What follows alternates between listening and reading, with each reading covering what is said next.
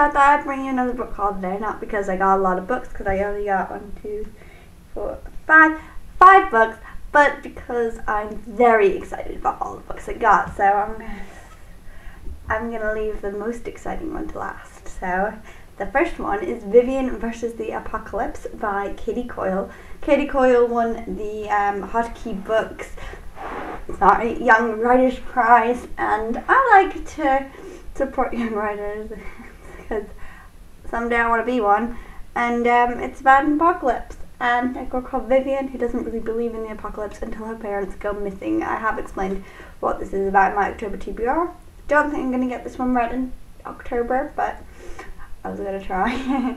so that's Vivian versus the apocalypse. I really love this cover. I love the girl jumping in the blue. It doesn't look like an apocalypse book, but I really think it looks cool. So yeah, that's that one. I haven't got any books from Hotkey Books. I like the little publishers thing.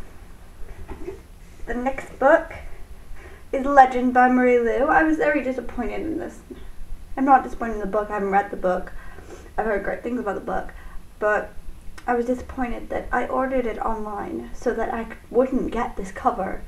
I ordered online so I would get the nice cover and they still sent me this cover and I'm too lazy to send it back and try and get the other one so yeah. I don't know much about Legend but I've heard great things and most people know what it's about. I'm like one of the few that hasn't read this and ha doesn't know what it's about. I think it's dystopian but yeah. Last one came out so I thought I would like to read series when the last one comes out so that's my excuse. I've got my receipt in this book. Um, this is Warm Bodies by Isaac Marion. Um, I've heard good things about this book, and most people know about it. It's made, been made into a movie, so I was glad I got this cover, not the movie cover. I got this one because I exchanged it, because I originally bought Insurgent. I don't think I hauled that, but I originally bought Insurgent, and I bought the ugly cover. Oh, I put it in my October TBR, that's what I did. Um, but then my friend said she was off to Florida and um, said she'd get me the American hardcover of Insurgent while she was there. So I have great friends, so I exchanged my Insurgent for Warm Bodies, um, which I've wanted to read for a while. I think it's going to be a bit weird because um, I liked the movie, just I didn't love the movie. I think it's because I wasn't really paying attention when I watched it because I watched it sleepover with my friend. Um, it's about a guy a zombie named R who falls in love with a human and doesn't want to be a zombie anymore. Yeah, I like this cover. It's good. I, I really like this cover. So yeah, that's Warm Bodies. The next book, it's a very Christmassy book. It's Let It Snow by John Green, Maureen Johnson, and Laura Mar Myracle. Um, it's three holiday romance stories. Um, it's a John Green book, and I love John Green, and I've not read any of the other authors. I've heard Maureen Johnson, but I haven't even heard of Lauren Myracle. I might have to Google her, see what other books she's written. Um, but yeah, I'm receiving two awards from my school, and this is how I bought this one. This will be presented to me as one of my awards. My next award I'll haul next. I had to buy books for the award, but that doesn't bother me.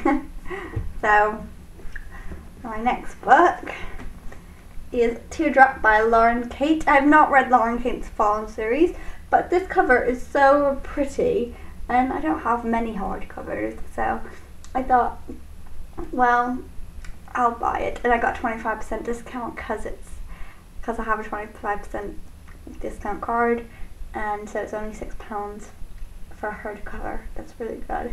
And basically it was free for me because I won an award, so yeah, that's why I got this one. I don't even know what it's about actually. Oh, it's about a girl called Eureka. That's such a cool name. Um, her mother gets killed in an accident and then she meets a guy called Ander and she thinks they might be linked. But this is a new series in for Lauren Kate, so hopefully I will like it and I will read the Fallen series maybe. And my last book this is the one I'm most excited about, guys. I spent £12 on this, but it was all worth it. The Fault in Our Stars by John Green. I know what you're thinking. I already have a cup, one of these. And why is the cover red? Well, I have a red cover, and it's also it's signed. Look at the J scribble. Uh, I a signed red cover of the Fault in Our Stars. There was like one shipped out to every water Waterstones in England, and I got this one. and I'm so happy. I nearly cried when I got it. I just think, uh, I've I've been rereading it. I am that far. Look, it even has a bookmark thing. I'm that far through it, and it's still making me cry again. but now I have John Green's signature. That's so cool. So this is my favourite book of the month. Might buy more books because tomorrow I am off to Leeds to go shopping and I'm going with a friend who is also very into books and has also won an award that she needs to buy a book for. So we will probably be spending half our time in Waterstones and W.H. Smith. So expect another book haul pretty soon. Um, yeah, I'm quite proud of myself because none of these books costed a lot apart from the John Green Fault in Our Stars book. And I haven't bought many, so I'm happy. So here are my books. That's not a lot, but I like it. All my books. This one especially. I'm gonna go now. Goodbye.